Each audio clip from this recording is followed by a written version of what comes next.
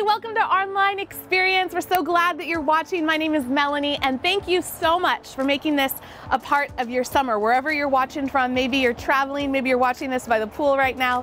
Thank you for joining us. I hope that you're encouraged, and I hope this collection of talks has been an encouragement to you as we're in this summer dreaming and believing God for a new dream for our life. We'd love to hear how the Holy Spirit is whispering to you. Maybe He's doing a fresh work. Maybe you've gotten a good God idea, God dream this summer. You can email those into info at ourchurch.us or you can leave it in the comment section of this as well. We'd love to hear how God is working and what He's up to in your life. This is also the last week if you have kiddos elementary age to sign them up for our weekday camp right here on our campus in University Place. First week of August, and it's 4 to 8 Monday through Friday. We'll feed your kid dinner. They'll have a great experience with Jesus, and uh, it's a great week of their life. So it's not too late. This is your last week to sign up. We'd love to see them there. Thank you so much for watching this. Hope you enjoy it. It starts right now. Bless me, bless me, bless me, God indeed. Death has been defeated, here's a victory. Bless me, bless me, God, not just for me, but so everyone around me can have everything they need. Let all these folks that's with me, God, have everything they need. Bless me, bless me, bless me, God indeed. Death. Death has been defeated, here's a victory. Bless not just for me, but so everyone around me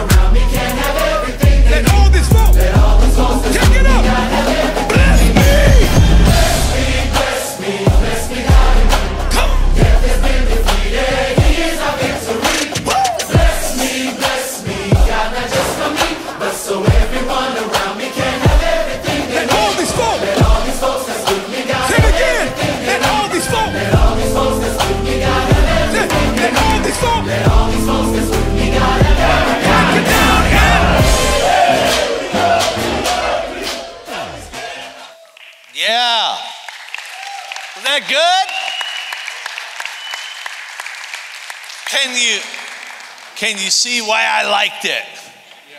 It's like favor, favor to taunt my enemies, or wasn't that great? Am I the only one who wants to drive my enemies nuts? You know, your happiness makes them miserable, right? Good morning. Uh, thanks for coming on a beautiful day. Um, the people that come on days like this, number one, you either love Jesus so much nothing could stop you, or number two, you've done horrible things this week. and the heat reminds you of the flames of hellfire. And you're like, I don't, I can't do this forever. So I won't, I'm not going to make eye contact with anybody. Can I read you? We're in a collection in the book of Daniel. You might want to turn to chapter three on your phone or if you have your uh, Bible. I like to carry physical Bibles. Uh, uh, part of that is probably because my age, but I have a Bible in my cars. I have one in my in each car, in the kind of in the door. Uh, I usually have one in the trunk. Uh, I know some people are sensitive about where they put their Bible because they think it's magic. It's only magic if you read it and use it. Otherwise, it's just paper, right? So I don't mind putting a, I have a Bible in my little travel bag. I never take it out. And it's just, just great to get comfortable with it and to read it, to be able to read it. Of course, with your phone now. But we've been in this collection, and if, if you haven't, if you need to catch up, you need to watch on YouTube. And I, I want to say welcome to everybody who's watching us online. Uh, we could have stayed home too. but we decided to come. Right? Come on, give me some love here. But we're glad you're joining us, even if it is late. We've been in this collection on dreams. Visions and dreams are the language of the Holy Spirit. That's what we're learning. That, God speaks through visions, which is where God intentionally gives you a, a, an image, a movie, a, a picture. While you're awake, we call those visions. And if you're unconscious, we call them dreams. God deposits a story in your head. And it's been encouraging to me to hear all the different stories you've, uh, of those of you who've had dreams. I want you to be praying for dreams. And today, I want to talk about the fact that dreams, uh, when God gives you a dream, it not only takes you to new levels, but it also brings new problems. And that there are blessing, there are prayers of blessing that you need to learn how to pray to survive your dream. I'll say that again. There are blessings that you need to learn how to pray for so that you can survive your dream. And you're saying to yourself, I thought dream I thought dreams were supposed to be good things. But how many of you know that when God gives you something good, something sweet, the enemy wants to turn it into something bad and something bitter. And so you were praying for a spouse and God gave you an ordeal, right? Yeah. Right? We pray, our, we want kids, and then the next thing you know, we're praying, God, help me survive these kids. Because first you have a dream. I don't care what kind of dream it is. It's a dream for a career, a family, for a financial goal, for relational goals. First, you have the dream, then the dream has you. First, you have the dream, then the dream has you. You're working for the dream. At the beginning, right, you get this dream and you own it and it's precious and it's fun, but by the end of it, it's got you, you know? You start a business and then the business, and you're working in the business and then the business starts working you over, right? You know what I'm talking about. So I want to teach you a blessing, and I, I believe in blessings. I, I live my life with one hand on uh, some kind of prayer at all times, and I'm a simple person. Uh, so years ago, somebody, when, when I had children, someone told me about the 112th Psalm. So I printed it out and I put it in the kitchen of our home. And when my kids were little, I prayed this over them. I would I wouldn't do it every day, but pretty well almost every day, all the way through middle school and high school, I would read these words. Here's what it says. This was written a, a thousand years before Jesus, okay? It says, how joyful are those who fear the Lord and delight in obeying his commands. Their children will be successful everywhere. I say amen to that. I prayed that over my kids. These kids will be successful everywhere they go. An entire generation of godly people will be blessed through them. Amen. This, this is a little thing we do here where I talk and you talk back. It's really great. I say amen, you say amen. It's fun. I know you haven't done it other places, but try it here. I'll, I'll read that again. An entire generation of people will be blessed through them. Yeah. They themselves will be wealthy. I want that for my kids. You want your kids to be broke? No, I want, they're going to be wealthy and their good deeds will last forever. They're going to have a legacy. And, and I'm going to have a legacy through them. Their light will shine in the darkness. They are generous and compassionate and righteous. Good will come to them because they lend generously and they conduct their business fairly. They will not be overcome by evil. They will long, their righteousness will long be remembered. They will not fear bad news. They will trust in the Lord to care for them. They are confident and fearless. They can face their enemies triumphantly. They share freely. They give generously to those in need, and their good deeds will be remembered forever and ever. They will have influence and honor. Amen. That's why I love that song. Because, and why Melanie knew I would love it. Bless me, bless me, right? And, and not just for me, but so everyone around me will have everything they need.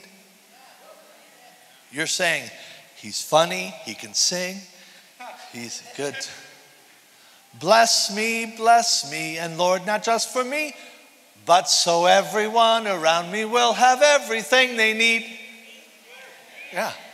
Bless me, bless me, and Lord, not just for me, but so everyone around me will have everything they need. I'm going to keep singing this for those of you who are slow. I'm going to sing this for those of you who went to Wilson High School. I'm going to sing. I'm going to sing this and keep singing it until you participate. Bless me, bless me, and Lord, not just for me, but so everyone around me can have everything they need. Bless me, bless me, and Lord, not just for me, but so everyone around me will have everything they need. Yeah. This is what I, I wonder. I just read the 112th Psalm and I pull that song in because I wonder what did Shadrach, Meshach, and Abednego, did they ever read the 112th Psalm? Now, they lived about 600 years before Jesus, this story that I'm about to read. The Psalms were written 400 years before that. These were good Jewish boys. So, in my imagination, is it okay if I use my imagination for a second? In my imagination, these boys are in Iraq, is owned by the Persian government at the time. They're a long way from home. They've been asked to worship an, a, a tall statue of King Nebuchadnezzar. God had given Daniel an interpretation of this dream about this statue, and the king, being wicked and foolish and selfish, instead of understanding that the dream was really about how great God is, he thought the dream was about how great he was. And he builds a statue and he asks everybody to bow down before it. And, and these three Hebrew boys refuse to do it. So they get put in custody. They are under arrest. And they come face to face. And here's what they say from Daniel chapter 3. They replied, O Nebuchadnezzar, we do not need to defend ourselves before you. Um, all the parents, let me ask you, does that sound lippy to you? Does that sound kind of like mouthy? Yeah, isn't that kind of mouthy? King Nebuchadnezzar thought it was mouthy too. When he heard that response, he, he said, Throw some more fuel in that fire. Let's make it hotter for these guys.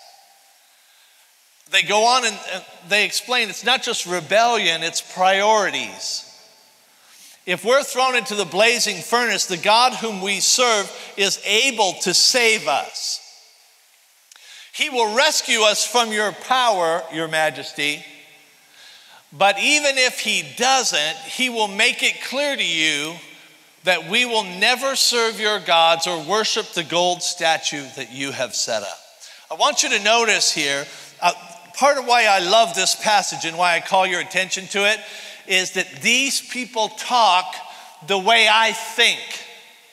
Now, what did they, did you catch the nuance in this sentence? What they said was, we're not going to do it. We believe God can save us, but if He doesn't, I, I, appreciate the fact some of you have been Jesus people for so long.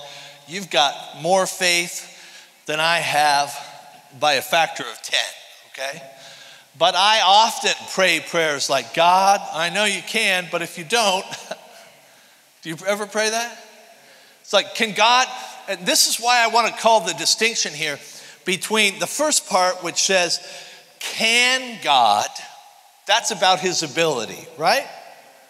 Is he able to do this? And the second one is, will he do it?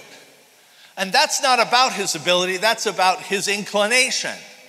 So, what we want to believe, what faith is believing, is not that we know that he can and he will, it's that we know he can. He had, he, so, for instance, can God heal stage four cancer? Yeah, emphatically, yeah. There are miracles walking around this city and attending this church that they had a death sentence given to them, and God not only was able, but He did it. But when we have a friend that says it's stage four, what do we say? We say, well, let's believe that God will, right? Because we affirm He can. The real problem is when you don't think He can and you don't think He will. That's not faith. So these guys are saying, We know he can. What we're going to find out is, will he? So it, they walk in, the story says, they walk, they get thrown into the fire. And there's three of them. And the king, it says, looks in the flames and is astonished because where there were three, he's seeing And his anger turns into amazement. And he says, If you're alive in there, come on out. I give you permission. You don't have to stand in the flames if you don't want to. And so they come out of this fire, a fire so hot that it consumed the dudes that were throwing them in. And they come out and they're still bound by the same, the ropes didn't even burn. They didn't smell of smoke. You know what I'm saying?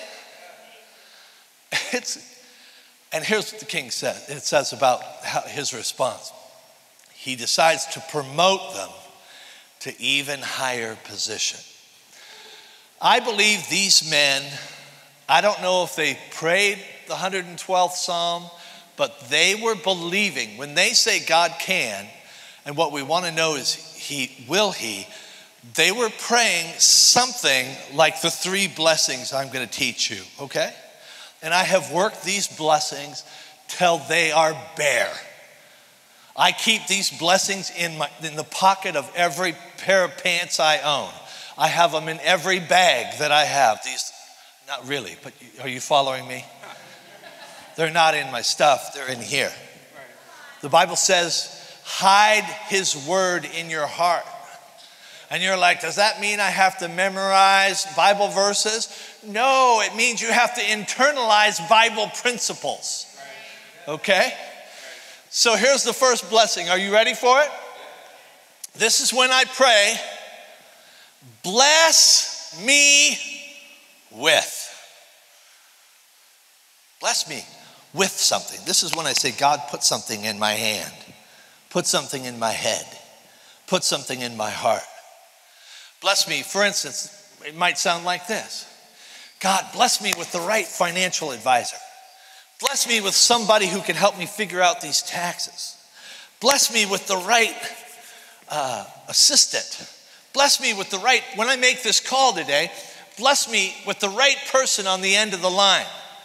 Bless me, God, with the right marriage counselor. Bless me with the right marriage partner. Bless me with the right job opportunity. Bless me with. Say that. Bless me with. Now, I start with that one because it's not for granted that they're going to get thrown into the flames. Could God not short circuit this thing before we get into the fire? Yeah, so if I I begin to pray, when I can see the fiery furnace, when it's within view or within earshot, I can hear the flames crackling. I start praying that God would, I'm not waiting for God to do everything. Are you following me? God can put something in my hand that will solve this. God, give me the right answer for this king. God, give me the right friend to walk into his office at the right time and say, hey, by the way, you notice Daniel's not in the flames. Where's Daniel? This is a great question. Don't just uh, go through the Bible, let the Bible go through you. Is Daniel in the office whispering to the in the king's ear? I don't know. Is Daniel out of town? Is Daniel, because he's the supervisor, is he not there? I don't know what he's doing. But I would pray if it were if I were one of those three lads in the fire, I might pray, okay, God, help Daniel. Give us Daniel to talk the king out of this so we don't have to get thrown in here. Can God do that? Did he do it? No. So it wasn't about ability, he had a different plan. That's the first prayer. The second blessing, are you ready? Not just bless me with, but bless me through. Say that with me. Bless me through. This is when God doesn't put the stuff in your hands to stop the fire, He puts something in your heart to get you through the fire. How many of you know that God is going to be with you through the test? Do you know that? I know you know it here. I know you know it here because you're nice people. And you're supposed to say, I know he's going to help me through this bankruptcy. I know that he's going to help me figure it out with my boss. I know you know it here. I'm just trying to get it like about, I don't know, what is this, 11 inches from your head to your heart. So you just know. This is why, by the way, it's so important to show up when it's 80 degrees because maybe God has something for you. And the best time to learn a principle in here is before you need it. Because when you're in crisis, you're just in your head, like, what do I do now? And what if we don't, and who's gonna, you know, and how are we gonna, and, uh, uh, or is that just me? Yeah. God, bless me through. God wants to bless you through. And sometimes that blessing you through the fire looks like your brother in law. You know? What happened? The king looked in the fire and there, he threw three in and there were four in there. And, and theologians kind of, they love to fight about the stuff. Somewhere in some university, there are some guys around a book even today, and they're going, Who was that fourth person? Was it Jesus in there? The Bible doesn't say. Was Jesus in the fire with them? Was it the Holy Spirit in the fire with them? Was it an angel? I don't know. And frankly, newsflash, I don't care. As long as God's sending me somebody to help me get through that fire. That's why I say it could look like your brother in law. You're just like going through the worst time of your life, and this guy shows up. He goes, You can do it. We can do it. I'm not leaving you. We're going to make it through this thing. We're not going to give up. It could look like a new supervisor. God doesn't have to show up physically in the fire with you, He can send somebody in. And not only that, I, I pray, when I pray for the blessing through something, I pray, God, when I come out of this thing, I don't, people, I don't want people to even smell smoke on me.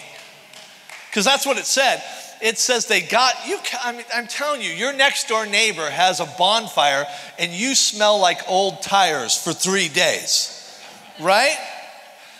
But these cats were in a incinerator that was so hot that people couldn't stand near it, and they come out without a burn, with the ropes still on them, and they don't smell. If I ride in a car with somebody who's a cigarette smoker, I need to go to the dry cleaners. But these dudes didn't smell. I'm believing that when God sends you out of some, through something, He's going to do it in such a way that people go, "You went through that, man! I couldn't tell." You don't have the normal bitterness of people who go through that stuff. You don't seem like you're stuck in. Uh, in the moment. Can I say that? Does anybody remember the old U2 song where it says, You've got to Get yourself together. You are stuck in the moment. And nothing? Do you people listen to music? This is one of the greatest bands in history. But the reason that song resonates with me is I, I spend my whole life talking to people who are stuck in a moment that passed a decade ago. Stuck in a, in a marriage that's been over for 10 years stuck in a firing that happened five years ago, stuck in abuse that happened 20 years ago. Bless me through it. Come on. Can we believe that God can get it get us through it without all the burn marks and all that? Yeah. Here's the last one.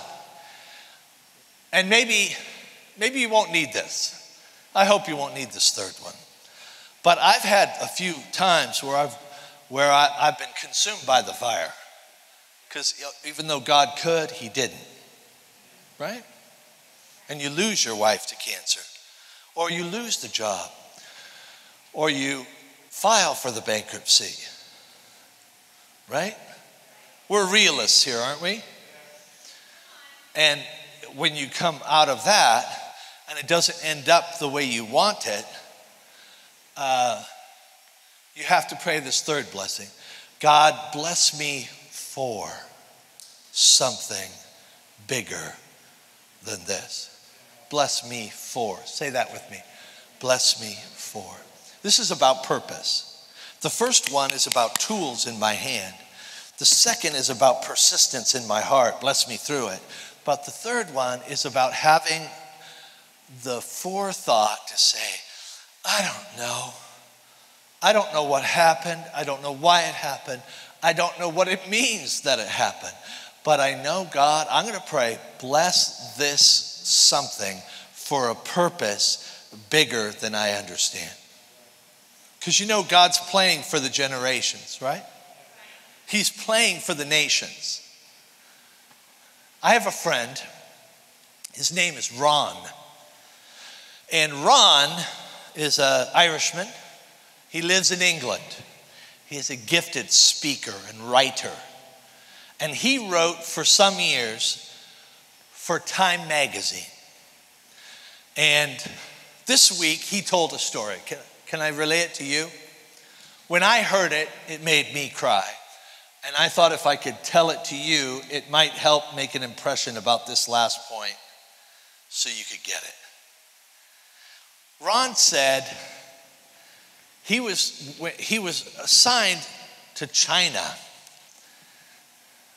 for Time magazine. This is some years ago now.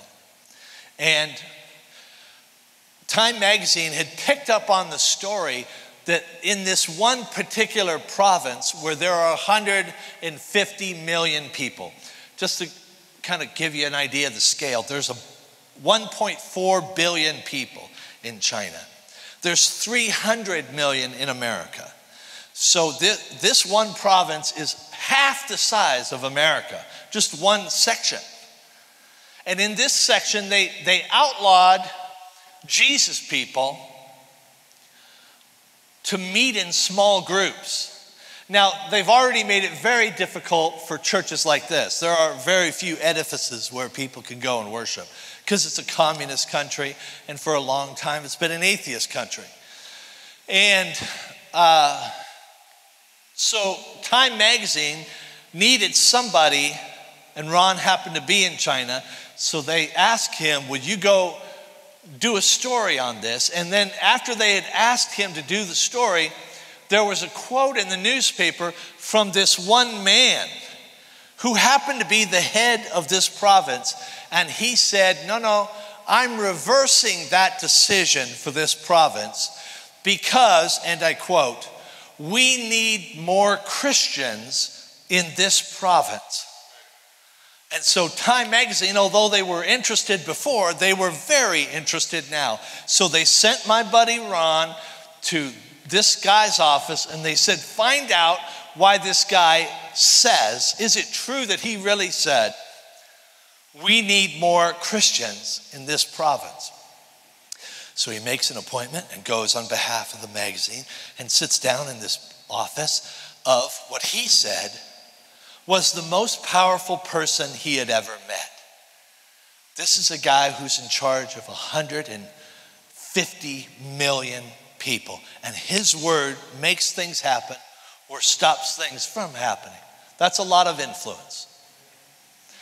And he sat down in this guy's office and he said, Is it true that you said your province needs more Christians? And he said, It is. And my friend Ron said, Tell me why you would say such a thing. And he said, Well, because of an old couple that I met when I was in college. And he, then he said, Tell me more. And this story that I'm about to tell you was relayed to Time magazine. He said that when he was a student, he, he had been sent to Cambridge because he was a promising student. And he spent several years studying in England at that fine, prestigious university. And he said he hated every minute of it. He found the English people rude, status conscious, kind of prejudiced. He said it was miserable. I hated the whole time. He said, I was one month from going home after having been there for years, several years. And it occurred to me, he said, that I had never attended a Christian church, and since I had no plans to ever live in the Western world again, and I had never been to church in China, he said, I, I decided I should go to a church. So he went to a small church and he said the name of the church to my friend Ron, the correspondent. It was in the city of Leeds, England. And he goes to this church and he walks in, and the people greet him. It's a tiny little church. And there's an older couple that walk up to him and they say, You're new here. Tell us about yourself. And he said, I told them I was a student. And they said, Would you come to our house for lunch? So he said, I did. And then I enjoyed it so much. I had two Sundays left. I thought to myself, I'm going to go back a second time and I'm going to see if they remember me. He said, I walked into that same little church and they, it's like they were looking for me. And this old couple said, We were hoping you would come back. Would you come back and have lunch with us again? Spend the whole day with us. He said, I went back the second time. I had one Sunday left. I thought, do I, should I really? I got to get ready to go back. He said, oh, I, those people were so nice to me. I went back a third time and they threw a party for me, a going away party and I stayed with him all day and I didn't want to leave. He said, But I had to leave. And I never went back. And my friend, Ron, for Time Magazine, says, What were their names? And he gave them these people's names. He never spoke to them again. So, Time Magazine, when they heard this, when his editors heard the story, they said, We want you to find those people. Decades have passed now and this isn't a college student, he's now in charge of 150 million people. So he goes back to the church in Leeds. And Ron said he went, he went there on a Sunday and he asked, he went up to the pastor and said, I'm for Time Magazine. Do you have some people? And he gave their names. And he said, Oh, they died about 15 years ago. And he said, Really, do you, mind, do you have a minute to talk about them? He said, Sure. He said, uh, But it's kind of a sad story. And he said, What do you mean, sad story? He goes, Well, the man had a furniture store. And at the time, it was just the economy was rough, and the furniture store never really took off. He tried to make it happen, but shortly before he died, it went bankrupt. And uh, he died with hardly a penny to his name. What about his wife? Ron said. Well, she died before he did. And that was kind of a sad story, too. You know, she, she always wanted children, and she could never have children. And that was a great heartbreak. She prayed for years that God would give her kids. In fact, the pastor said, coincidentally, coincidentally, that was part of the reason why she made herself the person who would have guests over to her house because she decided if she couldn't have children in the natural, she would have them in the supernatural. And she was going to invest in people. When Ron, when Ron told that story, I, I couldn't help but think of all my friends that have gone through hard times and it didn't work out the way you wanted. They didn't even know. They'd been dead for 15 years, but God had made her the mother of 150 million people who got to go to church because she was loving. That, my friends, is the God I serve. That's why I show up on beautiful days and snowy days, because I believe this is the most important message in the universe. That the language of God is visions and dreams. And God wants to give you a vision and you a dream. And it's going to put you on occasion in a fiery furnace. And you have to have a confidence, not just here, a confidence here that says, God, bless me with money and friends and time and wisdom. And if you're not going to answer that, bless me through fire and trial and poverty and sadness. And if I don't understand that, God bless this for somebody else. Bless it for generations to come. I don't have grandchildren, but I'm here today so that my grandchildren's children will be blessed by what this, the world I'm helping create. Stand with me, would you? We're out of time. I'm three minutes over. They're going to fire me. Come on. Every head bowed and every eye closed. Melanie, will you come pray? Nobody looking. I don't know what hell you're going through, but I know there's hell to be gone through. I know it happens. There are three prayers I talked about today bless me with. If you need something right now, you raise your hand. Bless me through. If you just need to survive it, you raise your hand. Bless me for. This is a vision thing. God, I don't. Some some things that have happened in the past you can't change. Put your hand up. You say, God, that thing that happened 10 years ago, it's been haunting me.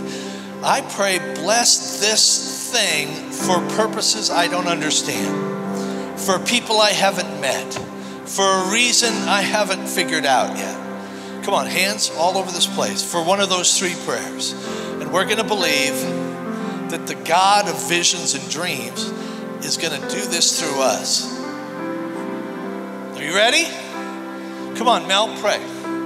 God, you see every hand and they're believing, they're asking, they're believing that you're going to get them through. They're believing that you're going to bless them with a new partner, with a new dream, with a new resource. They believe what your word says is true. And so we're asking and we're so expectant for what you're going to do.